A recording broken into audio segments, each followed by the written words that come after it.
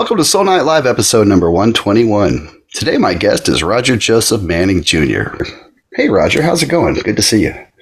Good to see you. Greetings. Likewise. Um, wow, it's been a few years since uh, you've been on the show, and you've done some pretty cool stuff since then. So I'm glad to hook back up with you and kind of catch up on what's been happening since then. And I got a whole bunch of cool stuff to check uh, check with you about. Um, I guess let's just get started with what's on your plate this year coming up. Right. Well, uh, thankfully, Beck has been more active on the road.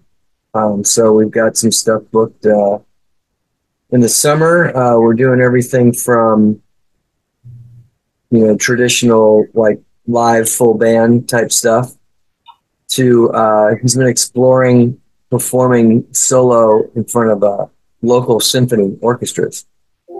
Um, and uh, thankfully, he'll bring Jason and I out to add some extra keys, add some extra guitar, bass, um, and do some background vocals with him. Uh, and we did one last year in Orlando that went really well. It was very exciting. Have you um, ever played with a symphony before? I have, but that's because I've done, you know, classical and jazz stuff over the years but not really in a rock setting. So okay. it was very, uh, it was very Emerson, Lake and Palmer in the round. oh yeah, yeah, that that '77 tour that they couldn't afford to pay the orchestra, so they had to get rid of yeah. them after about a month. Yeah. yeah. Something like that. No, nobody can ever say those guys didn't think big. I think that was the whole point. Uh, and then, then we got punk rock as a reaction. Yeah, yeah, among other things. Yeah. Um, so okay, so that's going to be happening. Are you going to? Is it going to be like a tour, symphonic tour kind of thing, or they're figuring it out? Um, I think they're going to try to do a string of dates and some stuff in Europe too, but it all remains to be seen. But at least it's being talked about. Okay, people are excited about it. Um, and then I'm just freelancing away. Uh, you know the the EP, extended EP Radio Daze from last year. You know, that was kind of a good six, seven run promoting that. Uh, so it's time for me to look at getting some more material together. I can squeeze that in. Uh, but um, yeah, just uh, freelancing, and uh, I'm doing everything from playing on people's solo projects here at home uh, to working on uh, ambient, like meditation music with a partner of mine. Um, uh, that that actually goes by Ancient Future Technologies. If anybody wants to look that up, okay, and uh, it helps you uh, fall asleep and relax. And mission accomplished. have you have you tested it yet? It's uh, it's a whole other hat for me to wear, and it's been fun using all my toys here to explore that but I'm still very new at it and just kind of getting my legs, figuring that out. But I'm enjoying it. My part, partner approached me with that. Um, what else? Uh, but I'm, I'm, doing a lot of singing on people's uh, projects. There's a guy named uh, Michael Carruthers who's working on some solo stuff. Um, an independent artist, uh, and uh, he's having me sing, arrange, and sing a lot of backgrounds of his material. Um, so it it's all over the place, uh, but I like it that way. I like the variety. Now, somebody saw this and thought, "Hey, I'd love to have Roger play on my album." Is that a possibility if they contact you? Hundred percent. In fact, okay. uh, got started doing that more after my glamping EP. Kind of mm-hmm. offered that as a uh, fan experience, and it really took off. And of course, we did it with Lickerish Quartet. Mm-hmm. Uh, so I continue to do that, and um, I've been very happy. Uh, how many folks out there have? I mean, it be, it's anything from like I've got one song that I just want some keyboards on to I'm doing a whole record. What would you charge to put background vocals on a bunch of tracks or arrange some strings or singing? Uh, I'm sorry, uh, keyboards so uh, it's everything in between, and then you know, just kind of figure out what everybody's budgets are and take it from there.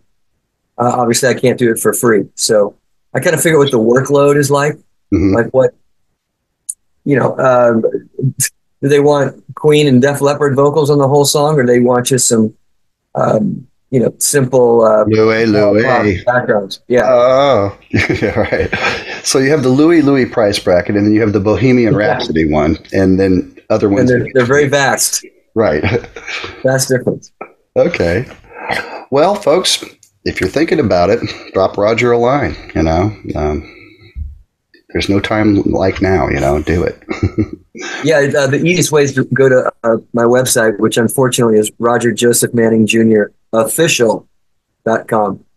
If somebody else hijacked the regular name, I don't know what happened. okay. Uh, but every, everything is on there. Uh, and then just reach out to me and we'll figure it out from there. Okay. That sounds good. All right. Well, actually, when I'm touring, uh, it actually is a great thing to do from the road. Uh, well, especially keyboards. Vocals are a little more difficult, but I have a lot of, you know, afternoons off in a hotel room, and uh, I wouldn't say I'm bored, but it working on music really helps me stay focused. Well, I was Um, going to ask if you like had kind of a touring recording rig that you took with you and worked on Yeah. downtime. I have, it's basically all on the computer. I have a little keyboard controller I throw in my suitcase. Um, and I even, you know, I even have ways to record vocals, but it's just too loud. Like I can't be shouting in my hotel room. All the all the guests will complain. But I can do. I've done a ton of keyboards for people, you know, with my headphones on. Um, Okay. And uh, with all the software that's out there available, there's really no shortage of sounds. If you want any of these toys, you got to wait till I get home, but that's fine. Sure. Well, I think a lot of folks do that. You know, it's funny. I had um, Trevor Rabin on here a few months ago, and his brother, or excuse me, his son Ryan is a producer, and he was Wow. talking about he's like we're literally on a plane flying somewhere, and he's sitting there mixing an album on the Yeah. laptop. You know, so it's like you can do amazing things with just a laptop these days that. I'm sure people wouldn't even be able to discern the difference between that and, you know, a, a big full studio in some cases. That's pretty crazy. It's kind of Yeah. neat, isn't it? it really Helps is. me out. Um, so let's talk about Radio Daze. Um, that was the most recent EP you have, and it came out last fall. It's still readily available, so check it out, folks. Um, it's a four song EP, not unlike Glamping, and I think you even kind of put them together. Um, like if you buy Radio Daze, you'll get Glamping also, and together they're like side A and B of one full length album. Is that right? Yeah, uh, Omnivore Recordings, who are a great label, especially for a lot of uh, they re- reissued Jellyfish stuff um, on vinyl, and they just do a lot of incredible like legacy and retrospective packages. Um, and uh, it was their idea, since they weren't involved with the glamping. They said, "Why don't we piggyback these together?" Because glamping was in 2018. That was a while ago. Let's piggyback them, and then we'll add a bunch of B sides for you know special encouragement. So there's like there's live tracks on there of the handful of live shows I've played. So I'm, I'm so thankful. Not only it was recorded, uh, but my bandmate Chris Price, who played in the band with me, he he mixed them, did a great job. Uh, and then there's even some instrumentals for all the muso fans who enjoy uh, hearing my tracks. Do you ever get a chance just to go play for fun, like around town with friends or anybody? Not really, uh, because there's many reasons. But interestingly enough, there's a gentleman here in town I just met last year playing on his record. His name is Will Worden, W O R D E N, and he is a younger guy in his 20s that just has really embodied the spirit of kind of classic country era of the 60s and 70s. And he writes songs that good and his voice and everything. He's just kind of, well, I, I don't want to say he's there, but that's all I heard him do. Right. Perhaps he can do all kinds of other things, but this seems to be where he's focusing at the moment. Um, and it's really fun to play his material. So we did a whole record last year that's going to be uh, coming out shortly. Uh, very independent. I don't think he signed to a label or anything. Um, so it'll be on Spotify and stuff very soon. But um, it was so much fun to make because uh, it really has all that um, energy of like Jerry Reed and uh, uh, Waylon Jennings, Buck Owens. Um, uh, it just really has that spirit. Uh, Jack Jones, and um, I've always admired that music from afar, but it's not like I get up and practice that every day, and it's certainly not. It's not what I grew up doing.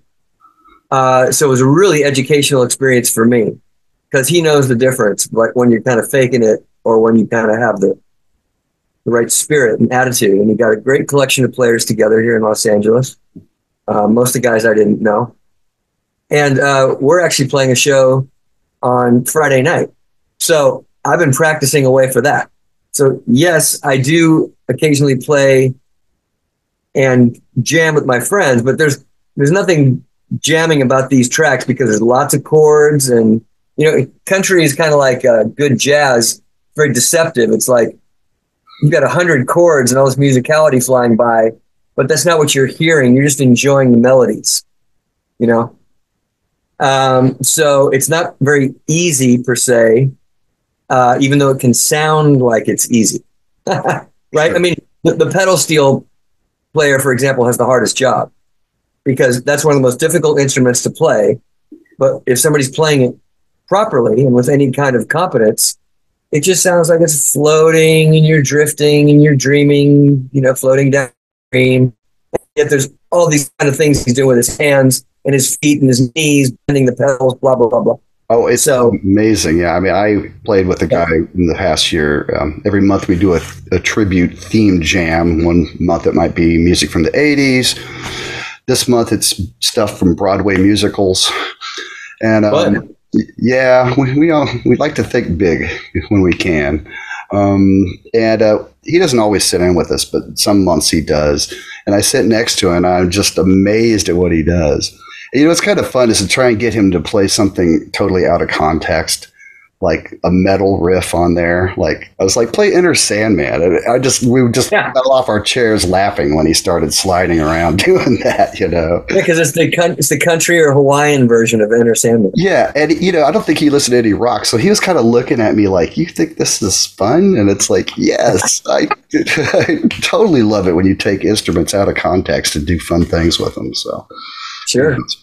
Um, okay, well, let's talk a bit about the songs on the EP for starters. And there's four of them. Um, tell me about the opening track, I Feel Good. I feel good. I feel fine.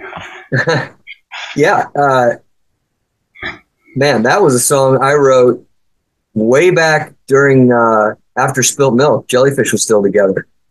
Um, as is always the case, I didn't have any lyrics. I either finished the lyrics almost at the very end, uh, or I have you know brilliant collaborators I've teamed up with and have been fantastic lyricists. Um, but I really just kind of liked the very kind of straightforward sing along, uh, Beatley, Badfinger.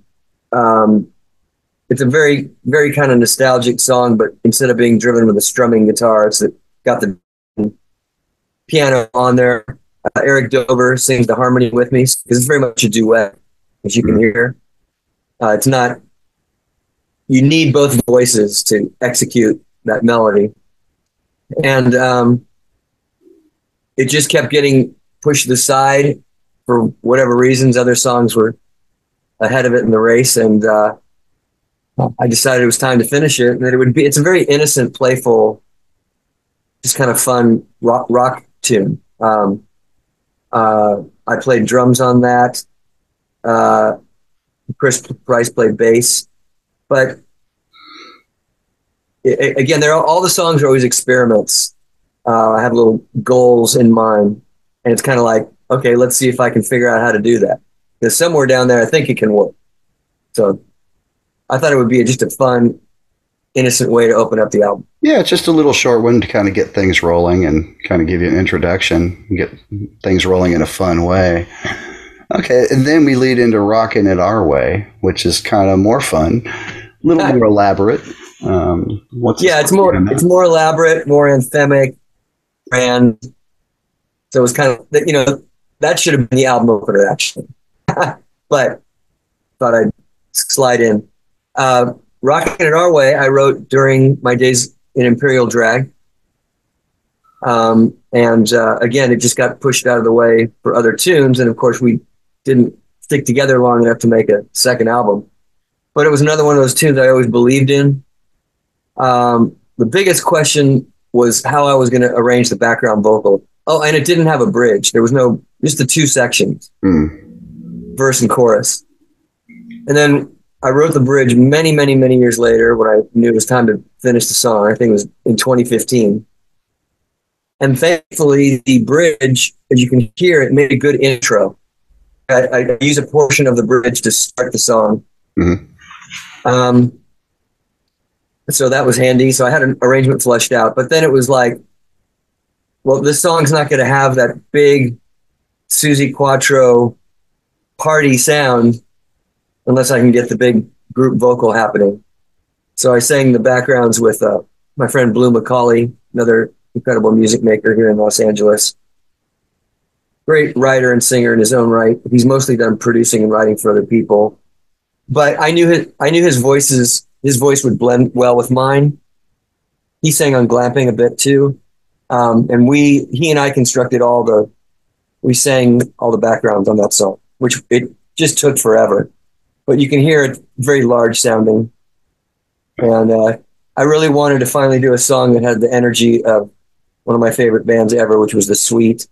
And I Oh, think yeah. it, you know, that, that whole era. I mean, Jellyfish explored it for sure, and Imperial Drag. It's always been a part of why I wanted to get into this world. But uh, that early 70s phase, 70s phase of British glam, you know, I'm just as big a fan of all the prog that's happening at that time, but I also love all that bubblegum radio, Oh, Teen. too, man. teenage energy that's happening. I with that. remember when I was about five, I had a record from K-tel called Fantastic Hits. I still have it all these years later. And Lily, Little Willie was on that. And that was like my Yeah. favorite song. I would just play it Yeah. over and over again. And listening to the Sweet all these years later, I just, I marvel at the background vocals from that bass player. My God, this high stuff, man. It's just like, wow. Yeah. You know? No, They're another one of those crazy bands. Uh, and there were so many other good bands at the top, and they get overlooked. And and you know, I mean, I very much I very much relate to them. I mean, they really took the visual side of that era almost as far as you could take it. I mean, I say that knowing full well some of the costumes that Elton John walked out on stage in, but uh, you know, Elton Elton's songwriting always came from more of a singer songwriter there was a classicism to it and an air of um, sophistication and you know sweet came from being like a 60s bubblegum entity. And a lot of people it's just easy to, to blow them off but they wrote some of the best 70s rock in my opinion ever No, they did. And, and kind of glammy, too. I mean, would you say it's great, tough it's tough it's like our gang's gonna kick your ass and and and we're going to wear know- makeup while we do it? Exactly. Exactly. So really, particularly in later generations, they're just you introduce sweet to them, they're just confused. Uh, much like Sparks, they don't. This just sounds like opera and silly. Like, but but uh, you know, Sparks is also one of the toughest, hardest rocking groups You know, of the it- time.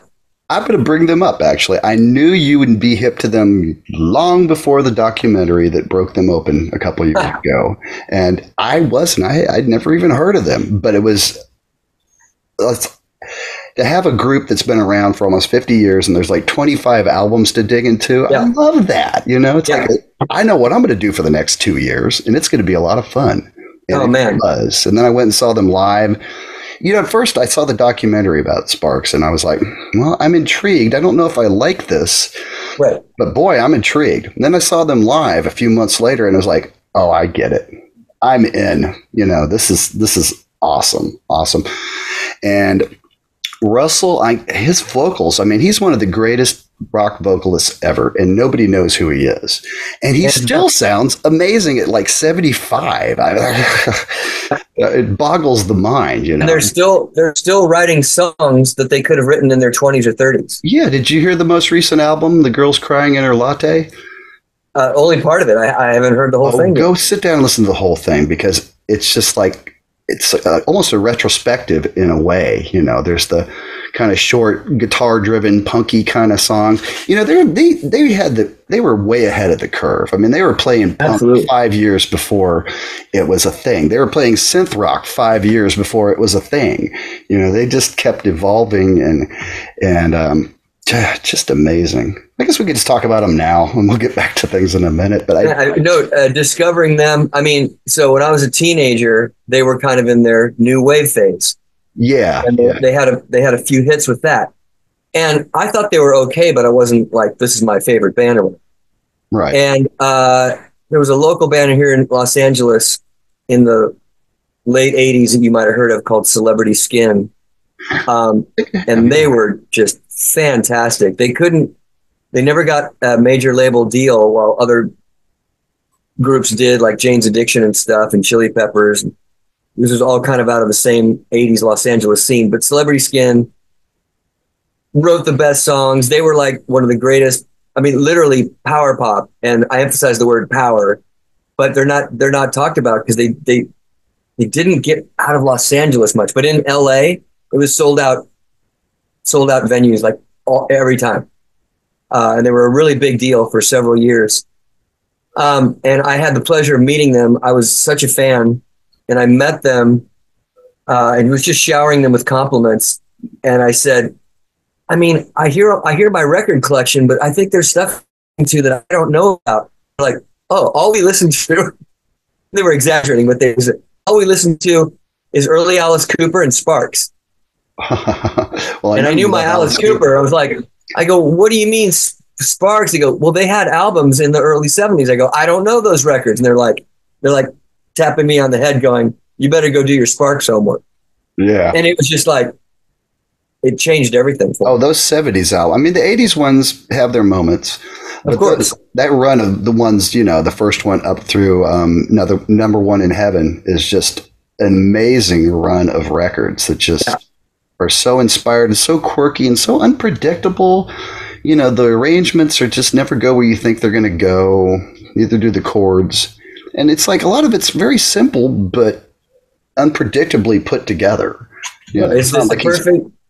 th- those guys embody, as do several of my favorite groups, but it's it's a constant marriage between uh, simple sing along energy rock pop with just enough sophistication to keep it interesting, little twists here and there, just intellectualism po- pokes out here and there, uh, and that's just always the most rewarding for me. And they they are they're masters of that. Oh, they are, and you know, uh, still most people don't know who they are. I mean, the documentaries made a big difference, but still, a lot of people don't know. And I'm, you know, I kind of tell them it's like if you like the snarky quality of Todd Rundgren, the Tubes, Zappa, and um, groups like that, then Sparks isn't much of a stretch. You know, because the lyrics, I say, you know, kind of start with the lyrics because the lyrics Yeah. are so they're funny, but there's an undercurrent of seriousness. Like, and it's hard to explain, but you know what I'm talking about. Yeah, I mean, and, and you literally like you can extend it. Like if you're an Evo fan, you'll probably like that. If you like The Damned, if you like Queen, if you like, I mean, it all. I think because they're they were American, like Southern California '50s kids, and then they really launched their career in England, where you get a lot more of that art school happening than you ever do in the states. Um, and those hybrids really add up to something just unique and incredible. Very special, and um, and boy, they went through bands there for a while. You know, it's you know they have that song "Throw It Away and Get a New One." Well, they might as well be talking about their bands. Yeah, You know, because there's just it, they, and they were all great. You know, I mean, the drummer on that album, the Big Beat, is just amazing. I don't know who he is, but I don't remember. It's, it's top notch. Big Beat is a heavy rock. It's such a heavy record. Oh yeah, it's like it's such a cool left turn for them at that time because they just finished um what was it Indiscreet, the one with the Yeah. crashed airplane on the cover, and that was like their Sergeant Pepper Tony Visconti album, and it's like okay, we did that, now we're going to strip it back, and this I don't know punk was a reaction, but it, their urge to strip things back happened around the same time. Yeah, So did you ever see them in that movie Roller Coaster where they're playing songs did. Big Beat. Yeah, man, that's Remember that as a, as a teen. yeah. It's, Uh, we're, we're just digging out for them, you know. I mean, it's Yeah. not exactly the greatest uh, plot ever, but you know, it's almost That's laughable. Good 70s um, disaster film genre. Yeah, exactly. Um, did you ever see Sparks? I've had the pleasure of seeing them several times. Uh, we even co-headlined with them on some Beck shows. Oh wow. Uh, I've had many friends be in the band. I, I, I kid you not. Over the years, you know, the recent years, like last ten to fifteen years, I've had five or six friends that have been uh, involved in some version of the band, Mhm. uh, which has been fantastic. Um, I got to see them when my friend Steve McDonald from Redd Kross was playing bass. Uh, I got to see them do um, "Kimono My House" oh, nice. in its entirety. Um, and then Beck was in Japan touring, and so were they. So we got to go see some shows there with some different friends of mine play. In fact, Tyler Locke, sorry, Taylor Locke, who plays guitar on both my EPs Mhm. uh, a little bit, him and Jason Falkner at different times. Uh, Taylor was in Sparks for a little while. So just this, it's been this crazy, um, you know, and then, well, you'll, you'll appreciate this while we're talking, but so we were touring in Europe in 2018 and my wife Laurel was with me. And we get on the bus one day to start our road trip for the day to the next show. And we're the first ones on the bus. And there's this stranger sitting on the couch in the lounge. And we're like, uh, no one's introducing us. Like, I don't know who you are. What's going on? Then they shut the door and Yeah. headed down the highway with this guy. Oh right. Now he seemed personable enough. He's very nice, you know, mild mannered. And finally, we just Laurel will talk to anybody, so she strikes up a conversation with him. Starts talking about, oh, you're you work in the fi- you work in film. Oh, oh, you're a director. Okay, blah blah blah blah blah. And turns out it's the guy who would eventually go and direct the Sparks documentary. Oh yeah. Okay. Yeah, he's directed all these other films. He was there as a guest of Beck. They were friendly, Okay. Cool. and his name is slipping me right now. Edgar. Edgar Rice. I forget his last name. Sorry. I think that's it. Yeah. Yeah. Um, well, you know, Beck's in the documentary. Did you Yeah, see? exactly. Yeah. Yeah. Yeah, yeah. Among other people. But this was way back in 2018. So we were like, oh, okay, that's who you are. I've seen that. Fantastic, really nice work. And I go, so what, what are you working on these days? He goes, well, a very special project that I don't know how many people are going to care about, but it's the greatest thing in the world to me. And you know, do you know the band Sparks? And Laurel and I go, yes. like they're only one of our favorite groups. I'm I'm getting their documentary off the ground. We're like, we, what? We couldn't. Like, there, somebody's finally making a documentary, and you're the guy. I mean, this. Is so it, those types of seemingly random, crazy events often happen on a on a Beck tour. uh, but we couldn't have been more excited. We were just showering him with praise, and he goes, "Oh yes, yes, yes. They're the nicest people. I'll introduce you introduce you to them tonight at the show because that was one of the where there were two shows on the British tour that we were going to co-headline with them." And I'm like, no, no, no, no, no. I don't want to be that kind of groupie guy. I don't want to bother them. You know, goes, no, no, no. It'll, it'll, it won't be a problem. The nicest people in the world. And uh, sure enough, um, after their show, no, right before they were going to go on, he said, "Oh, you need to come meet them, get your picture taken." I don't want to do that. I know how important pre-show privacy time is for me and my bandmates. I don't want to be that guy's like, "Hey, I'm a friend of friend of Edgar's. You don't know me, but let me interrupt you while you're trying to warm up and get ready to go on stage."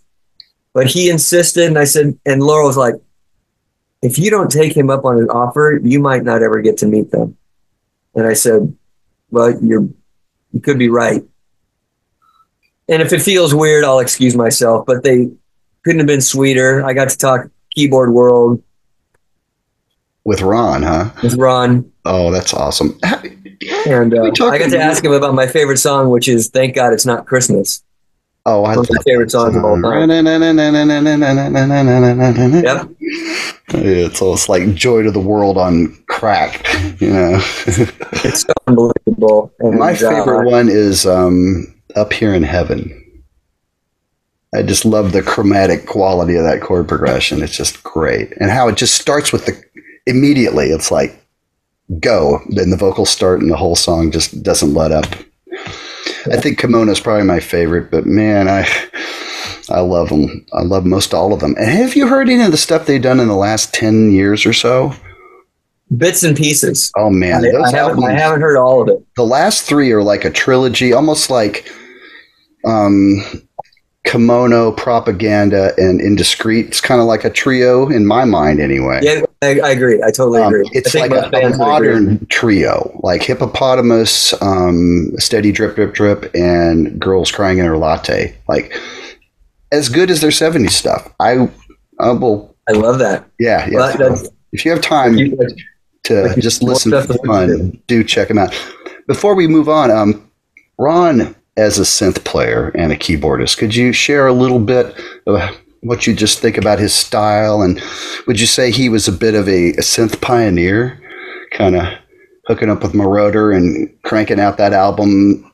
Well, that You know, I mean, sure. Any 1970s. anybody who worked with Moroder back then, that was all uh, an incredible time to expand in the kind of dance and pop genres, electronic keyboards in the way that like prog had not. hmm It was a, it was a different school, and uh, yeah, I mean, those Sparks records with Giorgio is definitely part of that. Um, I just think it's hilarious that Ron played the the RMI electric piano for so much of that music for so long. He became identified with their with Sparks sound hmm because most people don't know what it is, and you don't have to know. It just sounds like it's just it's in there rocking with the guitars. Um, and the funny thing about that instrument is it's pretty much a one trick pony.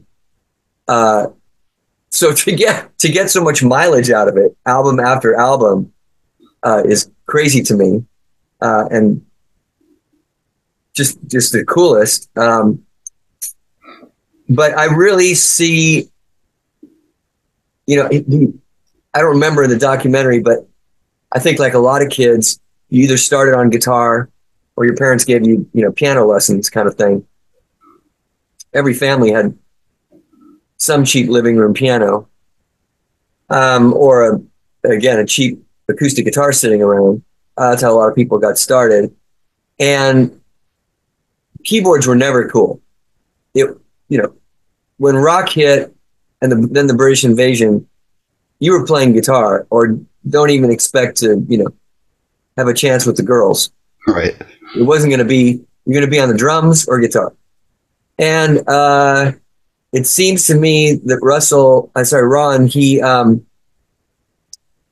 he just said, "Well, I can already play keys," and it was it was a writing tool for him. So they all, he also kind of brings in some neoclassical stuff once in a while, which is also part of their sound, which you can hear like the guys in ABBA did that too. hmm It's kind of like it's got a modern European royalty to it, Yeah. which can get which can get cheesy really quick, but it never does for me when when Ron's doing that. Um, it still rocks. That's the whole point. It has to still be tough. And I, again, the documentary, uh, because the Sparks as adults, to me, I very much related to. They were kind of they were just kind of music nerds. You can tell like, oh, they probably didn't fit in at their high school, and they were, you know, they they escaped through music and their weird nerdy culture. Well, no, especially Ron, they were full on jocks in school That's right. Who would have guessed? and and and I think that's that's important because um, I think that's where a lot of the the controlled testosterone, if you will, comes through in their music. hmm Uh, but again, they're they're they're they've read too many books. They're too cultured, Right. so you get this beautiful hybrid. I mean that you know that that's again that's how a lot of my heroes are. Um, uh, you know, cheap cheap trick is always just like in your face, just good American punk pop. But there's all these little clever twists here and there, and and uh, same with Queen, and that's that's just so important to me. But um, I like I like what Sparks' unique version of that is. Oh yeah, I love it. It's brought a lot of a lot of happiness to me in the past few years since I discovered them, and um, that's so cool. I really like to see them again. I hope they come around and do another one. I imagine they're probably working on another album now. I'd love to have them on the show too, but I wouldn't even know how to get through to them. But if anybody out there does, drop me a line. um, okay, well, let's get back to the EP. Um, so we talked about rocking it our way. Um, what about I'm starting a band? What inspired that one? Well, on its surface, it was just me kind of. Is this the one with the harpsichord on it? Yeah, yeah. I I I remember I wrote that song on the piano. Um, and I was going through a period, certainly in Jellyfish, and afterwards, I was exploring lots of Burt Bacharach type chord progressions and melodies. I was very much kind of in that mode often. Um, and this song was born out of that. But uh, I knew that as I finished it, with the lyric and the ranging that I didn't want to be some Dionne Warwick piece with with violins and, and so forth. I'd, I'd explored that before, so was, I was very excited to see if I could pull off an interesting arrangement with entirely with keyboards, which is which is what I did. That, that song is very very synth heavy. Yeah, it's got the harpsichord that drives it, but then it goes into all this territory with all these pieces in, in my room. And um, sometimes that was easy and sometimes it was really hard. Like I would arrange myself into a corner. I was like, man, if I'm not careful here, it's going to just turn into the Disneyland electrical parade. It's going to, it's going to become too, we're gonna, we're going to lose some of the romantic sentiment and somber you know, just that kind of romanticism. I didn't want it to become too cheap or funny or silly, which you always run the risk with with electronics. You can. Sure. Um, just cast. So, just but I think I finally pulled it off. yeah. uh, and then you know the middle, that bridge, which I wrote years after the song, because that's how my timeline has gone. Uh, that bridge is, you know, that's supposed to deliberately like 1930s crooner coming off of a gramophone device with the, ta- the it's very ghostly haunting the, the tap dancer and stuff. That that's all conscious and deliberate. You know not unlike you would do for a score or a musical. Um and the challenge was not going there. The challenge was how do i get back to the original vibe of the song uh, but I figured it out. Well, that's a lovely tune. I really like it, and um, thank you. It has um, reminds me of some of your other tunes that you've done on harpsichord, like um, "Survival Machine" and oh yeah, those other ones. And uh, it's a, a, really nice sound. Um, what board do you use for that harpsichord sound? Well, because I don't own a real harpsichord, and even if I few do, they're really, they're really hard to record.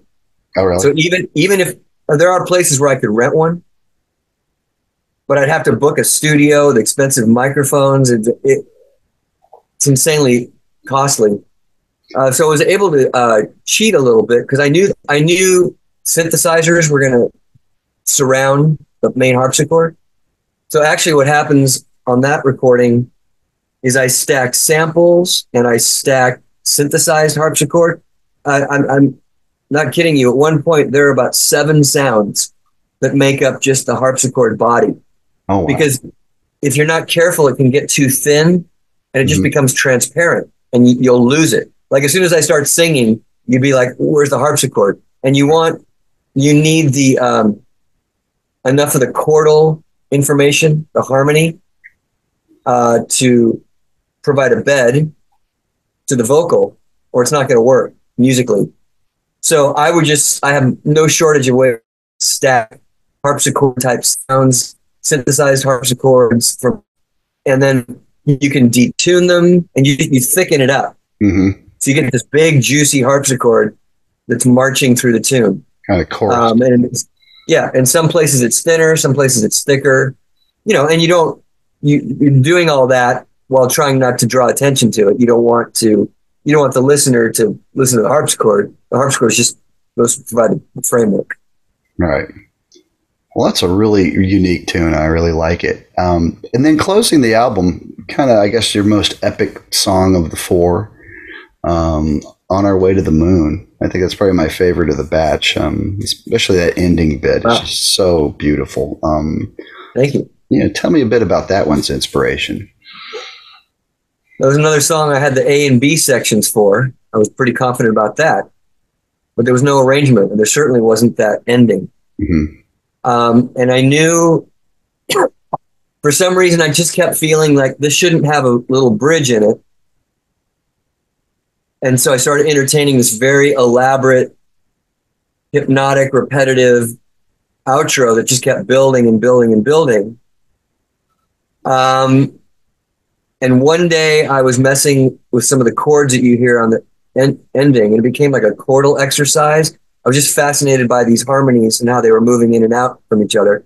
I was I was hoping if I was going to succeed at all that it would have some kind of Tony Banks Genesis um, mood to it, where he he's just such a master at weaving these very interesting harmonies together that are kind of classical, but not really. They don't sound traditional classical.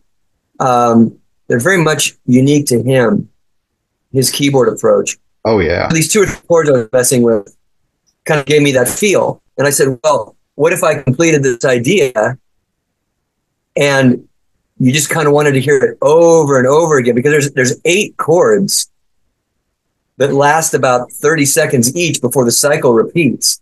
So you're either again, it's like a good prog song. You're either floating in it and you're enjoying that or you're not, right? Because if you don't like the mood that's happening, you don't you don't want to hang out there. Right. But, so I was hoping that I was creating this mood that you just kind of wanted to keep drifting in. And it would have a long fade. But I decided at the end of the day not to fade it because I liked how it just kept building. Anyway, that's that's how that happened. And it almost has nothing to do other than the lyric harmonically with the first half of the song. As soon as we get there, it just modulates into a whole other key. And I want I wanted there to be this like gear shift.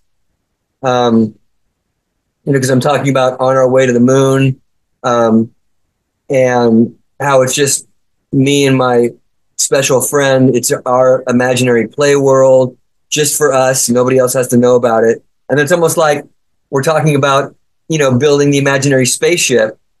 And then so the ending of the song becomes, well, the spaceship's now taking off again in our imagination.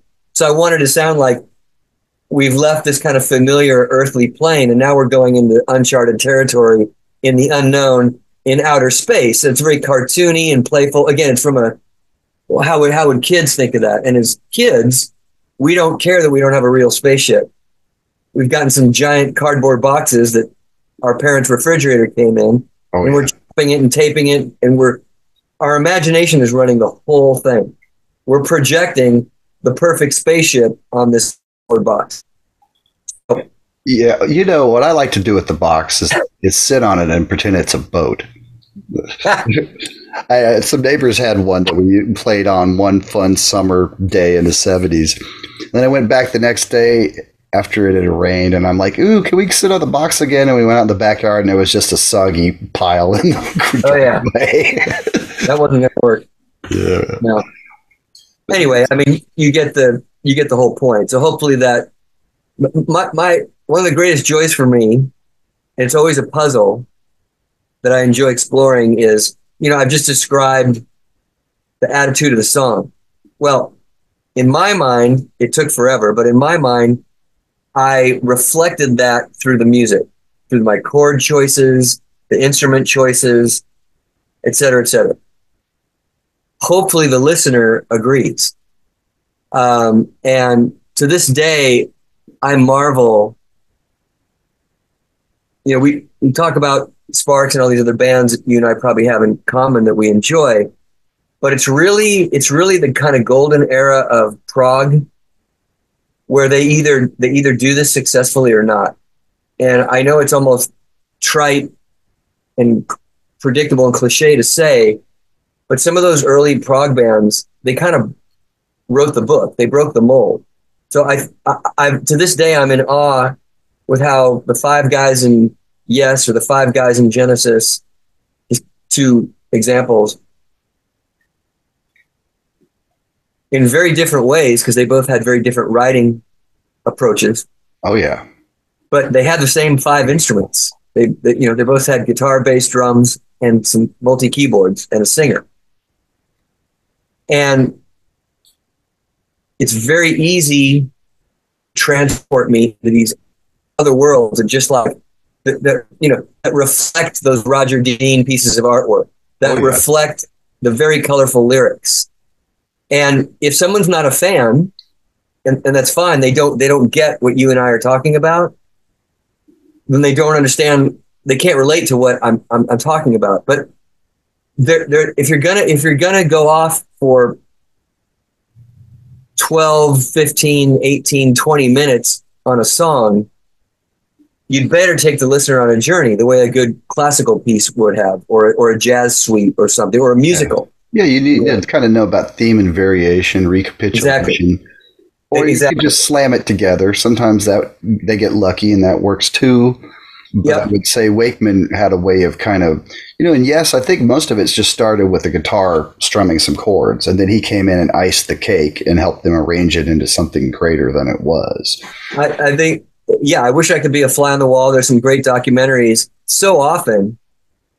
And again, the, the more I learn over the years about songwriting styles and traditions and genres, especially some of the early stuff just sounds, it sounds like Jon Anderson walks in with one of his like Irish folk songs. Totally. And it's a, it's a beautiful song. Like on its own, great. You can go, go be part of the folk scene.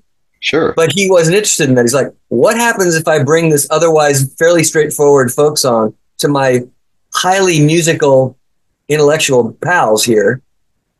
And I, I, I literally, when I hear interviews and stuff, it's like they were just throwing ideas at each other. Let's take let's take these two chords that Jon has, and see how far we can extrapolate and expand on them. Okay, that's that's now section C three. Right.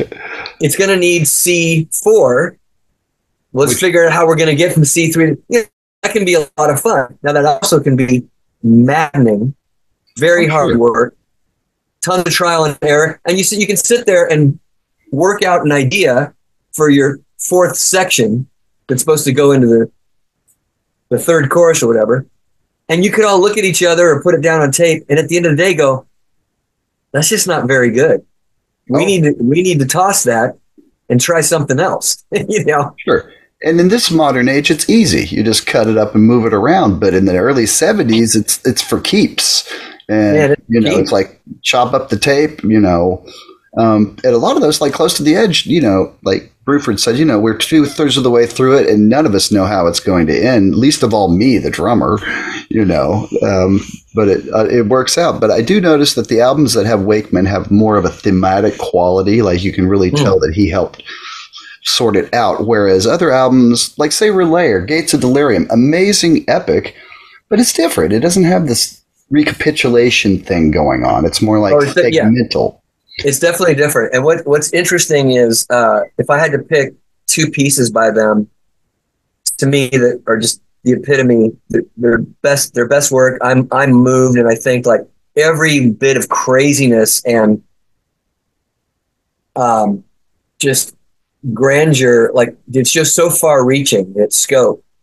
Uh, but it's it's the song "Close to the Edge" and it is "Gates of Delirium." Those are my two favorite pieces of all time. Oh, that's awesome. Well, I love them. I love them so much, and they're so different. You know, it was kind of like yeah, you know, totally very. different.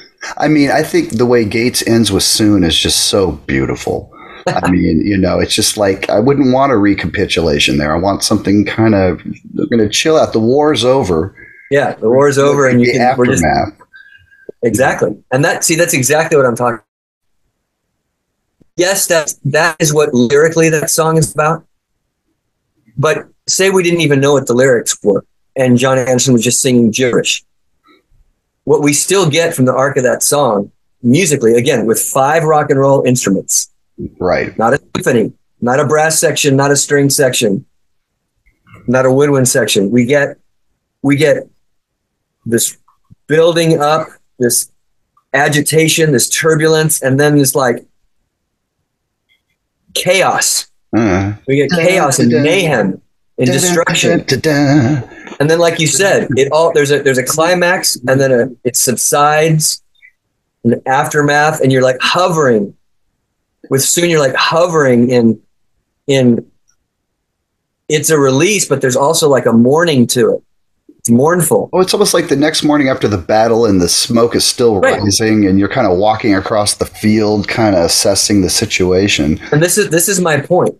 Every songwriter, or even people who are jamming, or a film composer, this is the power that they have with the same twelve pitches that every composer has had for centuries. And uh, me and my collaborators have chosen to really explore that in in mostly the pop rock genres. I've I've enjoyed you know, where can we transport the listener in a three and a half, four minute pop rock foundation? But I'll, I'll use examples like Yes or what have you to illustrate the, the, the fun that can be had, the, the level of art that can be had. Um, and so many of our heroes have, have, have done this, but it's also, it's always changing it's never not, not, not an easy task. Um, and i'd be interested in more contemporary artists being interested in doing that. I, you, you'd have me more as a fan. I'd go to more i'd go to more shows by more contemporary Me too. Art. You know, I mean, I just um, I heard an interesting quote yesterday. I was watching an interview with Rick Beato. There's an amazing Indian bass player named Mohini Dey. I don't know if you've heard Uh-huh. of her. yeah She's a, oh my god, just lethal. And um, she said there are no bad melodies. There's just bad arrangements.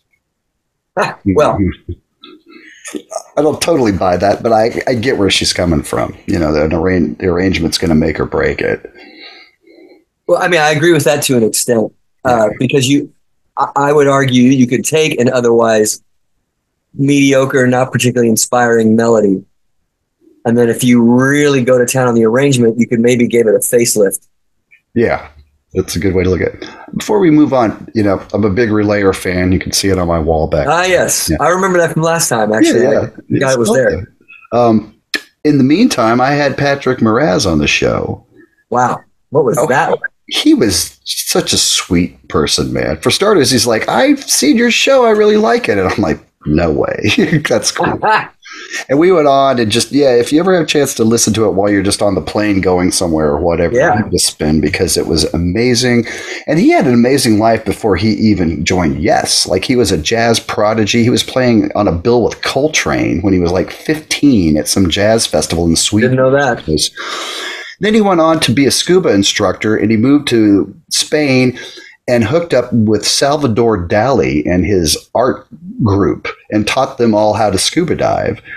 what And, um, I kid you not, Salvador Dali. And um, and then one day he like played piano in front of Salvador after like months of teaching people they didn't even know he could play. And Salvador was so impressed. He said the next week he came back and there was eight pianos in the house. Yeah, no, that, it, that's bonkers. And yeah, he he uh, clearly was one of those like um, extreme human beings. Like so many eggs got dumped in his brain basket compared to other folks. Oh yeah, Um, and And- still- it's fun to listen to his playing because I can hear the jazz in it. oh yeah, Whereas in Wakeman, there's absolutely no jazz, nope. and that that's fine. It's also like I can hear, and Emerson's another version of that. But uh, it's been fun over the years to learn about the makeup of each of these kind of, you know, monumental, game-changing keyboard heroes. Oh, absolutely. And Tony Banks, man, you know, I just, you know, you know how it is. There are these goosebump moments in prog songs where it just, you know, especially in a live setting, they hit those Taurus pedals and the whole room shakes, and you're just like, yeah, this is what I love this music for. And I think Genesis pound for pound probably has, or selling England by the pound, pound for pound yeah. has uh, more of those goosebumpy moments than just about anybody. And I think it boils down to Tony's chord progressions. Yeah, it's, it's the it's the writing for sure. It, and I, I like I like all of their writing that they bring, but Tony Tony's like it has his stamp, and it's it's super special and it's super moody.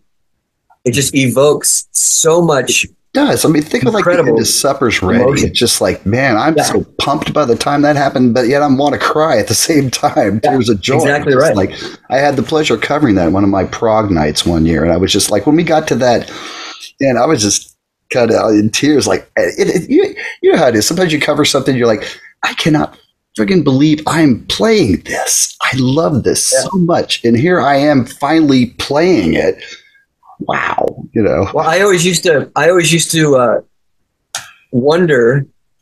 Uh, I was fascinated by the fact, not being a very cultured young man, that obviously Genesis did well around the world, but apparently they couldn't have been any bigger uh, in Italy.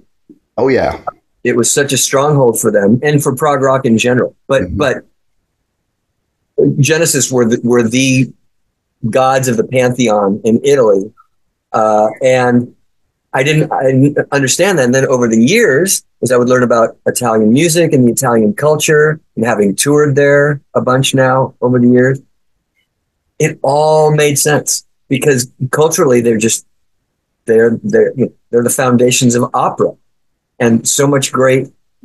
It's it's just cultural R- romanticism and and uh, that whole um, the scope of opera and musical and, and just how it gets translated. And, and Genesis was the electric rock version yeah. of that, even, even though they came from England.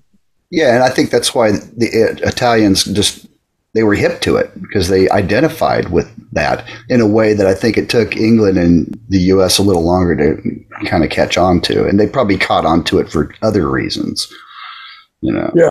So, um, yeah, great stuff. You know, it's a, I I've talked about that before. How it's like if the band is written from a guitarist point of view, mm-hmm. say Yes or King Crimson, the chords are never quite as delicious. You know, they're okay, you know, but they just don't think the way a keyboard player does.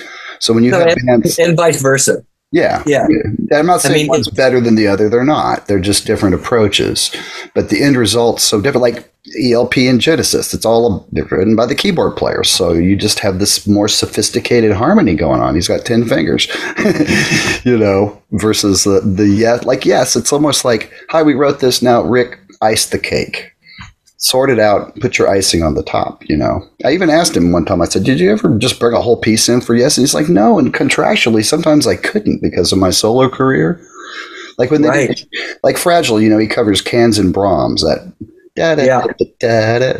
you know, and it's like, why did you just play one of your tunes? What one of the ones that wound up on Six Wives or whatever. And he's like, I couldn't, you know, like contractually, I couldn't do anything but a cover at that time. So, yeah, it's interesting. Like are you familiar with the tune "Awaken" that they did from '77? Yeah, yeah uh, going going for the one, right? Yeah, yeah. That's another goosebumpy one. Like just like that's a Rick. You could tell Rick really had a big hand in that one. Yeah, compared to just icing the cake. Right, because that was his that was his big comeback. No, no one knew, including him, if he was ever going to be a part of Yes again. Right, and then he, you know, went solo and did King Arthur on Ice and and went yes, bankrupt. He, yes, he did you know, I know it's just like if we're not, you know, talk about outlandish. you know, it's like okay, Emerson, you can have your spinning piano. I'm going to do King Arthur on ice. You know, and and then he also did Journey to the Center of the Earth. Yeah, uh-huh. like inflatable sea monsters, and they played like at some place in England where there's a big lake in front of the stage, and the sea monsters deflated halfway through the show accidentally. Oh my you know, god! Total Spinal Tap moment. So there was so much Spinal Tap in the Yes game. Oh, absolutely. I'm sure they probably watched that and kind of cringed. You know, I can't believe there's going to be a Spinal Tap follow up. I just, I hope it's. I'm sure that he did waited this long to do it right, but I imagine the cameos in that thing will just be stupid. Um, yeah, you know? I'm sure. Um, so, um, I'm guessing you're a Lemon Twigs fan. You hip to those young guys?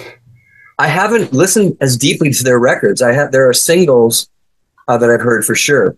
I mean, they're they're incredibly talented. Uh, I really enjoy their voices most of all. Mhm. They, they some like when they blend when they stack harmonies. Yeah.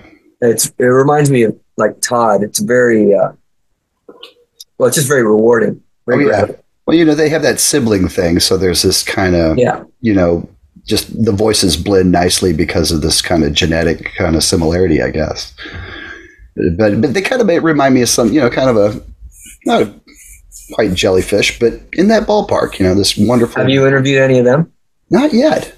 I need to get a little more hip to their music before I feel comfortable asking them. But I would like to have them. Yeah, that would be great. I saw them on Jimmy Kimmel or something a few weeks ago, and it was just like, what a great song! What a wonderful tune. I wanted to ask you. You've been on. I've seen you on on one of those late night shows since I spoke to you last. I'm trying to remember who it was. Probably with Beck. Do you remember going It on? would have been with Beck. Yeah, Yeah. Uh, what, Um, what show was that? Was that like? I'm sorry, I don't remember because we've done so many over the Yeah, years. what's it like doing one of those? Is it a lot of hurry up and wait? Yeah, it's it's pretty hectic. It's pretty clinical. It's pretty sterile because they have to keep the studio so cold Uh huh. um, because of all the lights and everything. Oh, that makes sense. typical for a soundstage. Right. Um, and uh, you're dependent on the television sound mixer, which is what they do every day for a living. So they're really, really good at it. Sound possible to pump through people's computers or their television at home. But you don't really get to hear, right? So live, you get to hear the volume of the stage and that energy and that power, and you can play to it in the television studio setting, it's so soft and quiet. You're just listening through in ears or even very softly on a monitor wedge. And it makes it challenging to like rock out and stretch out. Um, you, you feel the nature of the environment makes you feel reserved, even if you're playing an exciting rock tune. So no, nobody likes it. Uh, I always feel for the lead singer because they kind of like, you know, again, when you're playing live in front of a live audience, like, all right, everybody stand up and sing along with me. And like in a studio, it's like you're playing at church. Yeah. So, and then you do your sound check early in the day, hours before the show, because there's so much for the film crew to get together to prep the show. And then you just go wait in the waiting room. It'd be like four or five hours. Hmm. And then you're supposed to remember everything and get that energy together that you had at sound check, or maybe you had at sound check for the live show. So it's really an on off. Uh, you know, you you feel like a trained animal act. It's like go, and but that you know that's part of what we do.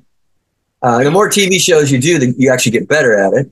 But it's not, it's not really fun. Is it done sequentially, like it unfolds when you watch it, or do, are they do they sometimes do the musical portion before they even sit down and talk to the guests? In my experience, mostly sequentially. Okay. but you can if there was a sound issue or the band made a mistake that was just so horrendous there's like we, we you got to let us do it over again you can reshoot it correct whatever errors and then they they will cut it in when they say and now we're cutting over to the music you know Yeah. that can happen that can happen but it's usually sequential Okay. Well, I wondered about that because it's um, yeah. I figured there'd be a lot of waiting around and probably not particularly fun. But you know, at the end of the day, sometimes those are your biggest promotional things. You know, everybody, millions of people watch those shows, so it's Yeah. enduring the the the pain that goes into it. Let, let's just say that the Ed Sullivan show and the Smothers Brothers show, and even like uh, Glen Campbell Variety Hour or Sonny Show, those all look like they were a lot more fun Yeah. for some reason. Remember that Captain and Tennille variety hour? I do. I, I I'm old enough to remember that. remember the Adventures of the Bionic Watermelon. That was one of their skits on there. I don't. I of course remember the Bionic Man, the Bionic Woman. um, so, um, so what became of the Lickerish Quartet? Uh, did you just feel like you'd kind of run its course, or um, Yeah, yeah. Basically, I mean, we uh, it was so first of all, we were terribly excited and grateful that we were able to actually complete four songs uh, because it was made piecemeal mm-hmm. and long distance. And, you know, I mean, we really raised the bar on that material. I mean, it was jellyfish level material. It was. Thank so you. It, it just, it took so much work. So the fact that we got four songs completed and released to the public was a miracle to us. We're very happy about that. And then a lot of lockdown stuff happened.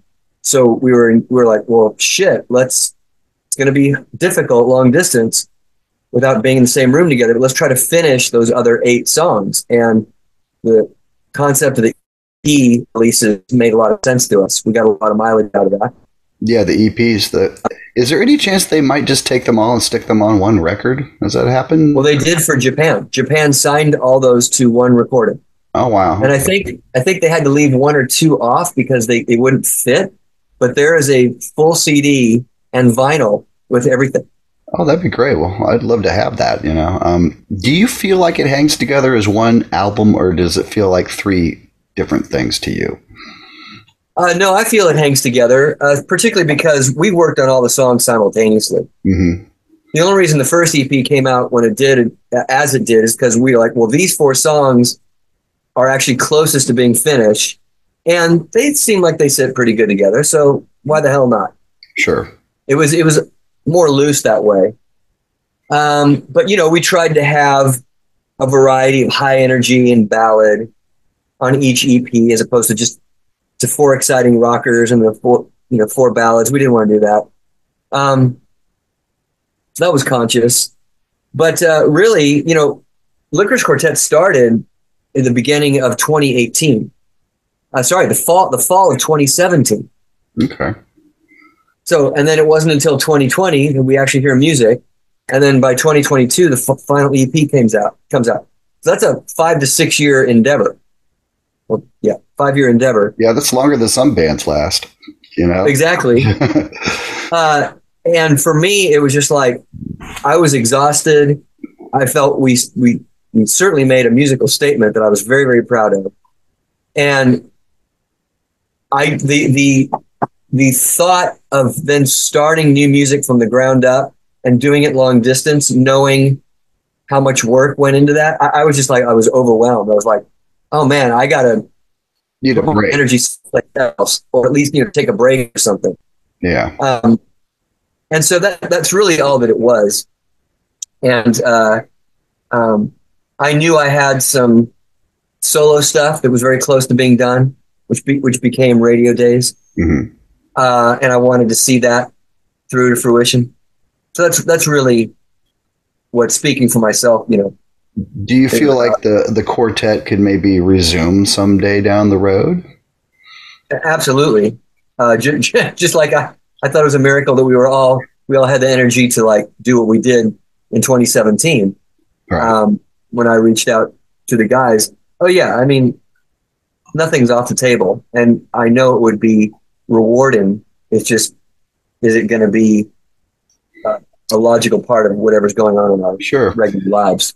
I don't know. I mean, I don't know if it'll ever happen, but it'd be wonderful to see you guys play those songs live. I can imagine it takes some major work to, to bring those to life on stage. But is there a part of you that kind of secretly wants to, at least a little bit? Always. Uh, same with my solo stuff. And I don't perform my solo stuff live other than a handful of things because uh,